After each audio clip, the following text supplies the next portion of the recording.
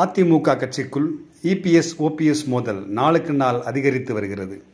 எதிர்க்கட்சியாக இருக்கும் இந்த சூழ்நிலையில் கூட இரண்டு தரப்பினரும் மாறி மாறி போஸ்டர் மோதல்களால் வசைபாடி வருகின்றனர்.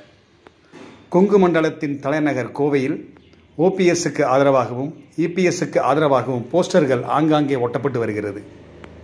அதிமுக உட்கட்சி பூசல் போஸ்டர் போரை பார்க்கும் மக்கள் சிறுபிள்ளைத்தனமாக இருக்கு என குசுமுடன் நக்கல் அடிக்கின்றனர். இவங்க பிரச்சனையே தீர்க்க முடியாமல் இப்படி நீயா நானா சண்டை போட்டு இருக்கிற சூழல்ல சட்டமன்றத்தில் எதிர்கட்சியாக இருந்து எப்படி மக்கள் பிரச்சனையை பேசுவாங்க அப்படின்னு கோயம்புத்தூர் மக்கள் கமெண்ட் அடிக்கிறாங்க.